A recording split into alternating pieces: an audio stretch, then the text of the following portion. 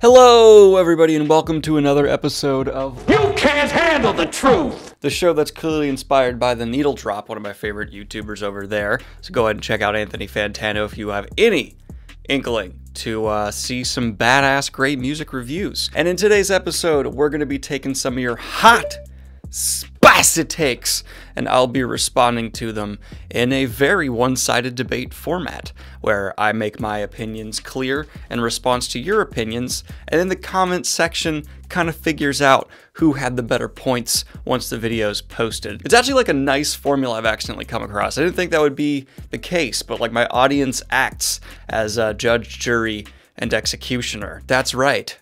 Whoever loses dies. that's why I have so many extra Daniels. I just I just offer them up. And this video is brought to you by Skillshare. Skillshare is the online learning community that you've already heard about from tons of content creators you trust. There's a reason so many of us let Skillshare sponsor us. It's because they're one of the few products we can swear by as content creators. It's an online learning community with countless of topics to choose from from qualified professionals. I just checked out Daniela Kreis's creative breakthroughs, and it was really awesome information how to get brain going. For less than the cost of most of those streaming services, you're spending way too much time on a month. If you use the yearly subscription plan, that's right, less than $10 a month.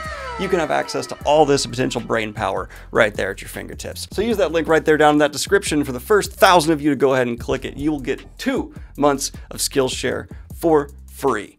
That's right, it's free. Go ahead and check it out. Explore it if you want it back to the video. I feel that we should get the perspectives of religious people in fantasy. There are often religious people in fantasy, but usually not any of the perspectives, who are often indifferent or dismissive of religion. I think that is just a, not to get political, a reflection of the times we're in a bit where we are seeing a de-religiousification, which that's a word, of America currently where, you know, religious rates are on the decline. I'm not trying to say anything about that. It's just an objective truth that they're on the decline. And I think this is reflective of a more anti organized religion mentality we are seeing. Again, I'm not trying to get political on you, I'm just pointing out something that is occurring currently in the nation. And as is with our fiction, it often reflects real life. And so we're seeing, you know, a more critical view of the role religion has played in history uh, come to prevalence within our uh, texts. Now, what I will push back against this on is we do often see religious figures just not in the typical Western sense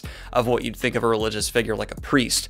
But I could easily make the case that an Aes Sedai within the Wheel of Time is the equivalent of a priest in our world, or that Gandalf is a Jesus figure. And so we have religious figures in the sense of not your typical Western view of religion where someone who's out there preaching, trying to convert, but in the sense of a believer who is a part of a religion. In the Wheel of Time, there is a religion the Aes Sedai follow. It's just, it's not really debated or talked about because it's considered a universal truth of that world that there's a creator, there's a dark one. So what's there to really talk about with it? You don't have the converters uh, that we often see or even the preacher uh, type scenario going on. It's funny, the more I thought about this one, the more I realized that those who are involved with the religion can be painted in a very neutral tone. Let's continue with the Aes Sedai example, or those who are seen as like aggressors for the religion, continuing with the Wheel of Time example, white cloaks, are painted in a negative light. So what I'm seeing from my experience, and this is true for more series, multiple examples,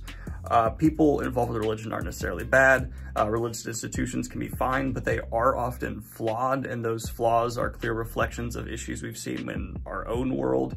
And then we have the people who are more aggressive, more out there, more violent about it, are painted in a very negative light. Uh, I've seen this in everything from Forgotten Realms, uh, Song of Ice and Fire, like many fantasy series seem to be embracing this more uh, hypercritical and reflecting our own world approach to how we've seen religious institutions behave. But really interesting point. I like this one. It's probably one of my favorite kickoffs to a Let's Debate I've had. I hope the comments remain respectful because this is a sensitive topic, but it's one I would really like to see people's responses to because that is that is a that is a good hot take.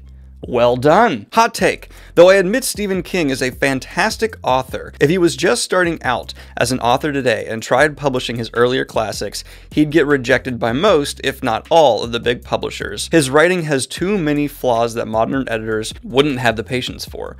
Modern authors just have a better grasp on plotting and pacing than early King does. That's why some of his works are 1,000 page tomes where they could be 500 page page turners. So this is actually interesting. I just made a post on Twitter Tuesday about how I'm really tired of the idea of an objective review. Hold up, trust me, this is tied in. And I think what you're saying is true, but it's also, again, a problem I have currently with publications in traditional media uh, because they do have these standards you're talking about where they would reject Stephen freaking King, and I'm completely against that. We even had Evan Winter, author of Rage of Dragons, spin off from my thread and kind of make his own about how he doesn't like that, you know, a publisher or editor will reject you because they consider what you're doing non-traditional pacing or grammar, things like that, when that can be an artistic choice. And the only pushback I got for saying there can't be an objective review were the people who were saying like, oh, well, what about like grammar, spelling, syntax? But if you really think about it, that stuff is still subjective. Uh, a great example to point out would be Nevernight, which made some really interesting choices when it came to presentation of its story that I didn't like, but other people did. It's the kind of thing that someone could be like, well, that's an objectively creative, good decision. No, it's not. Nothing in a review is objective. And Stephen King is a wonderful example of how this is true. So I agree with what you're saying, and I also think it backs up my point that objective review does not exist. It's actually a weird thing that's been going on in the video game community. We are seeing creators over there push back against the idea of an objective review. There is not one. Every review is about your subjective experience with the material. And if you try to be objective, all you're going to do is give an overview where you're going to be like, oh, it came out this year. The plot was this. That's just an overview. A review is your personal thoughts and experience on the material. So I don't know. That's just been on my mind a lot, and this was a really good excuse to talk about that. But I think you're also very right. Could you imagine someone getting like The Shining and being like, no, it's not traditional enough. And then finally, my final take on this is Stephen King, I believe, ironically and strangely enough, would probably be one of these authors who finds tremendous success in self-publishing. I could absolutely see it being something that's put online and then it gets all kinds of internet talk about it and blows up from there. Stephen King is perfect for a self published author mega success currently. Although a couple of his things like Dark Tower, I don't know if Dark Tower would thrive in self-publishing. That needs a bit of a marketing campaign behind it. I don't know. This is an interesting thought right here. Fantasy religions have a severe underdevelopment problem which feels like an afterthought in their worlds. Writers almost always just go to say a god slash prophet slash the light for a curse and having three religious events if you're lucky, instead of having any actual depth. Real world religions have a ton of events that span years, and countless people. We don't need that depth, but a little more would be nice, unless it just makes sense within the world like Mistborn Era 1. Another really good point about religions in fantasy, but I actually don't think authors should get too far in depth with their religions like you're talking about. Why? Huh? What's going on? What's Dan about to say? Unless it is a very important part of the narrative. In my experience, it's actually one of the parts of world building that will lose a reader the fastest. Maybe not a lot of fantasy fans, but I know the general audiences out there, if you start going in depth about like a fantasy fictional religion, quite a few people just kind of start rolling their eyes. It's just one of the things of world building where like people enjoy wars, people enjoy histories, people enjoy a lot of that. But if you start going really into mythology, I've just seen a trend where people seem to get tired of it. I don't know why. It's certainly not my case, and I bet people in my audience who are hardcore fantasy nerds wouldn't see this problem. But like go up to your brother or a friend of yours or somebody and see if they would like to read about a religion that's not even real, that's just a part of like some wider thing. A great example of this is like how many people like Lord of the Rings, right?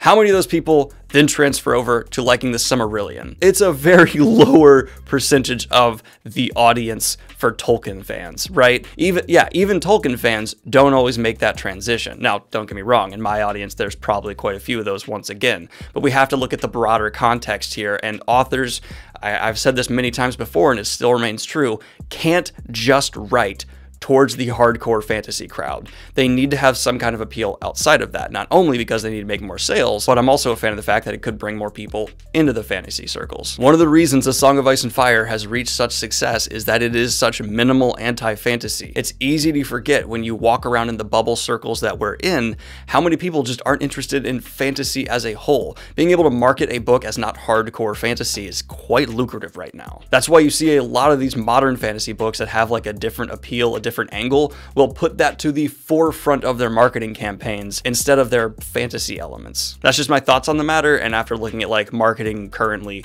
what's going on. I'm actually planning to do a whole huge rant review talk about traditional media and publishing and all of this and my observations on it, because some of it is just insane. So unfortunately, this whole comment is a bit too long because I don't want to be sitting here just making you guys listen to my dyslexic ass read for five minutes. So I'm just going to go ahead and skip to this last part here, but I'll throw this up bold if people want to read the full comment while I just go through the last bit here. On the morally gray side, what people mean when they say they want a more morally gray character is that I want a person to have killed an innocent person before or betrayed his country and caused mass death.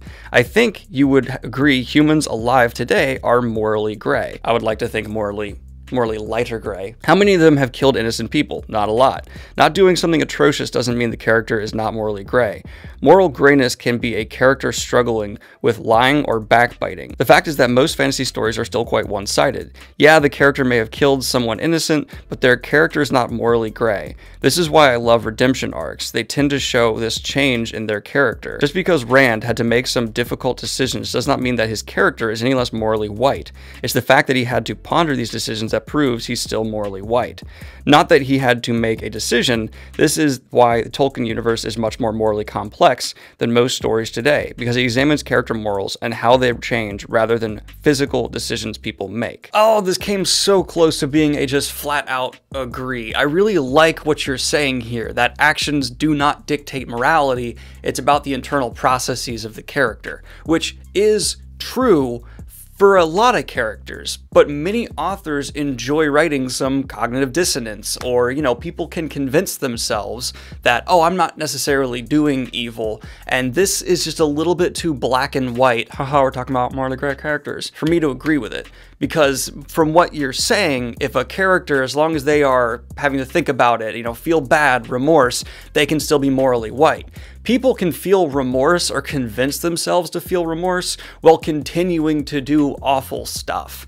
Uh, so I, I, think you're on a path of a correct answer, right? Like the, the, the, example you put forward is Rand has to do some bad stuff, but because he felt bad about it, it's not necessarily making him a bad person. I disagree if it's repeated a pattern of behavior. I mean, there are all kinds of, uh, you know, loonies out there who have been serial killers who you know they talk about how bad they feel how much they don't want to be doing it but there's cognitive dissonance in people. And obviously on more muted smaller scales we see that in characters all the time. Some of my favorite characters ever uh, logic and reason their way to doing terrible things. And would you say they are morally white just because they to themselves what they're doing makes sense?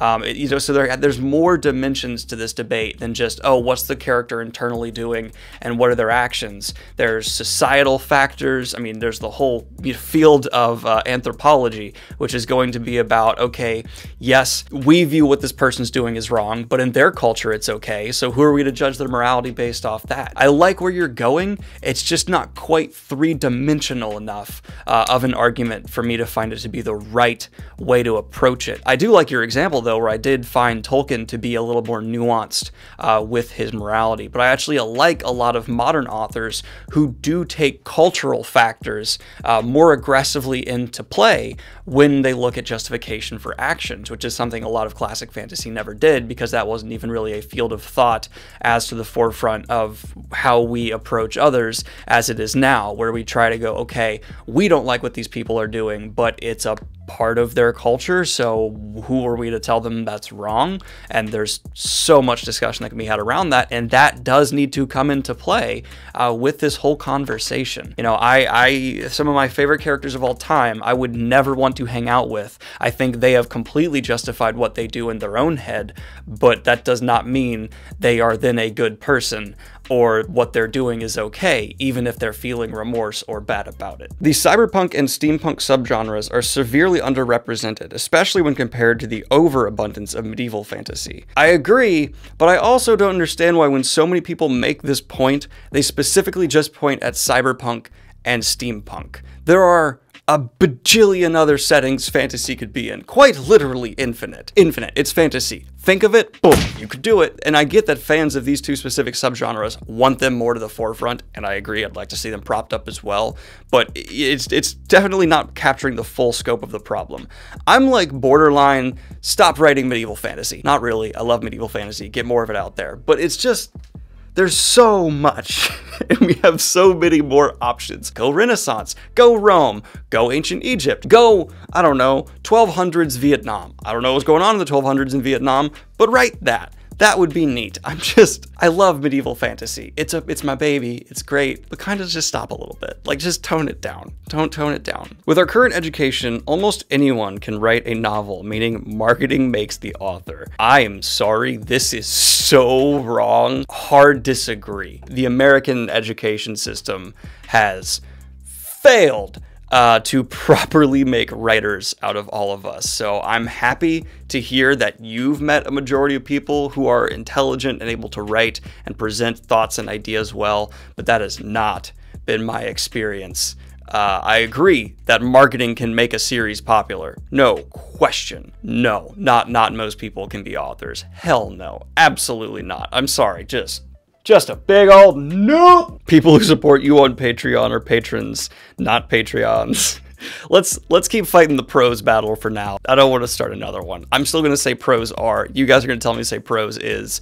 And that's the that's how we're gonna we're all gonna die. That's how we're all gonna die. You said in your last debate video that mermaids are supposed to be sea monsters. They're not You're thinking of sirens, which are way older of a concept than mermaids, and specifically said to be monstrous fish slash bird creatures with beautiful singing voices that lure sailors into the deep. Mermaids, as seen on Disney movies, are completely separate concept, and equating the two is fantasy world blasphemy. See, I've seen mermaids all the way back to the OG mermaids be presented as sea monsters that are terrible and murderous, and I've seen them be presented as not. What I should have said there is, and I think I was trying to, but I just presented myself poorly, is that I prefer monstrous mermaids who are gonna murder some people. I don't get the people who are like, I want a sexy mermaid. And I'm like, what are you gonna do? Get in that I don't I, stop it. This point was actually kind of stemming from a different issue that I want to put forward as my hot take, and that is that the horror genre is criminally underutilizing currently in today's media. The amazing back catalog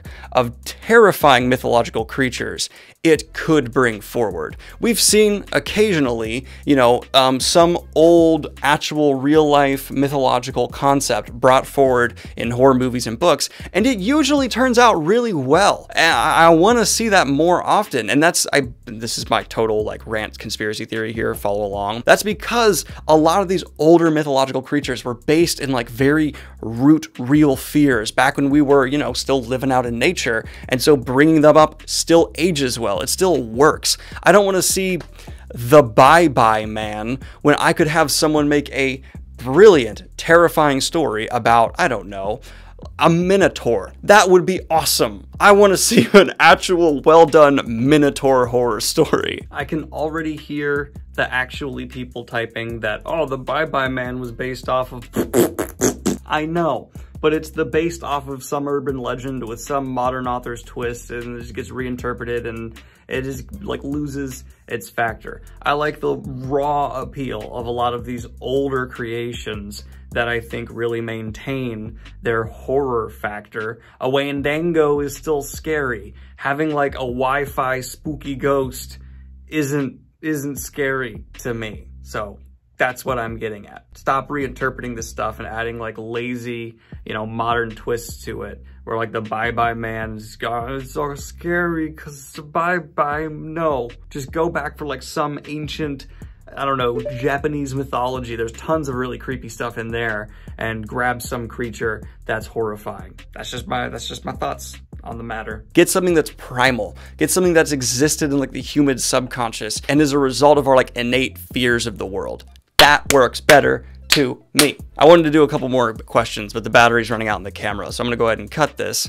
Like and subscribe if you have not already. Hit the Patreon if you want to support what I do here. Let me know what you think of the new mic. Looks like a little little mythical creature pee pee by my face. All right. like and subscribe if you have not already. Hit the Patreon if you want to support what I do here. And let me know what mythical creature you think would be an outstanding feature for a horror book, TV show, movie, web comic, I don't know, what have you, in the comments down below.